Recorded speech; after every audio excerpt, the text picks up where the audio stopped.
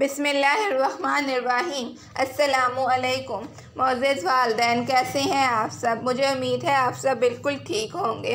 मेरी आज की वीडियो का जो लेसन है वो है, बच्चों को दो छोटी कुरानी दुआएँ सिखाना उनके इब्तदाई साल में।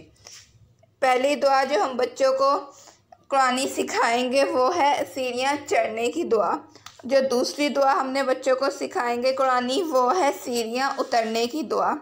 इन दो दुआओं को बच्चों को हम इब्तदाई साल में इस वजह से भी सिखा सकते हैं कि ये बहुत छोटी हैं और बच्चे दोनों दुआएँ इकट्ठी आसानी से याद भी कर सकते हैं और बच्चों की आने वाली ज़िंदगी में भी बच्चों के लिए बहुत ज़्यादा फ़ायदा साबित होंगी। पेरेंट्स को ज़रूरी है कि वो बच्चों को ये दुआएँ सिखाएँ और बच्चों से अमल भी करवाएँ, ताकि बच्चों को आदत हो जाए कि जब भी बच्चों ने सीढ़ियाँ चढ़नी है तो उन्होंने ये दुआ पढ़नी है और जब भी उन्होंने सीढ़ियाँ उतरना है तो वो ये दुआ पढ़नी है। बच्चों के माइंड में ये चीज़ बैठ जानी चाहिए कि उन्होंने ये अमल लाजमी करना है, ताकि आने वाली ज़िंदगी में भी बच्चों के लिए आसानी हो। अब मैं आपको वो दो दुआएँ बताऊँगी जो बच्चों को हमने सिखानी है सीढ़ियाँ चढ़ने के लिए और सीढ़ियाँ उतरने के लिए। सीढ़ियाँ चढ़ने के लिए जो दुआ है, वो है अल्लाह अकबर। अल्लाह अकबर। जैसे कि मेरी स्क्रीन पे आपको लिखा दिखाई दे रहा है।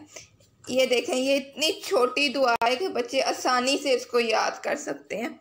और जो दूसरी दुआ है, सीढ़ियाँ उतरने की दुआ, वो है सुबहान अल्लाह सुबहान अल्लाह ये भी इतना छोटा कलमात है कि बच्चे आसानी से इसको पूरा याद भी कर सकते हैं और बच्चों को आदत भी हम डाल सकते हैं कि वो इसको पढ़ें, क्योंकि ना तो ये ज़्यादा लंबे हैं और ना ही ये ज़्यादा मुश्किल हैं। बहुत ही आसानी से पेरेंट्स बच्चों के साथ मिलकर बच्चों को आसानी से इसको याद भी करवा सकते हैं और बच्चों के अमल में भी ला सकते हैं। एक और बार मैं आपको पढ़कर बता देती हूँ। अल्लाह अकबर। अल्लाह अकबर। सुबहान अल्लाह सुबहान अल्लाह मुझे उम्मीद है मेरी आज की वीडियो से आपकी काफ़ी रहनुमाई हुई होगी। मेरी वीडियो को देखने लाइक करने और शेयर करने का आप सबका बहुत शुक्रिया। अगर आप मेरे चैनल पे नए हैं तो मेरे चैनल को सब्सक्राइब करें और बेल के आइकन को लाजमी दबाएँ, ताकि मेरी आने वाली हर नई वीडियो का नोटिफिकेशन आपको हासिल हो सके। आप सबका बहुत शुक्रिया। मिलते हैं जल्द एक नई वीडियो के साथ। अल्लाह हाफिज़।